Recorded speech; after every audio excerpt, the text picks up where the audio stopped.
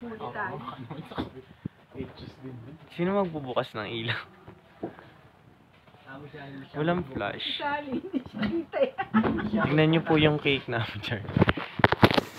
Di ba, Kenneth? Tignan niyo yung... Ako, di ba? Pwede na. Pwede nang... Baka nagpasalamat Pwede na nang siya. ano. Lamay. Nagpasalamat na siya. Ayun yung cake ni Father. Tignan niyo po yung cake ni Father. Halatang pangsimbahan po talaga.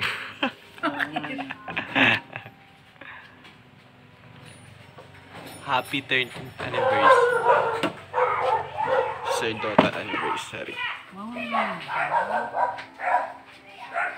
Patay yung ilaw. Patay mo yung ilaw.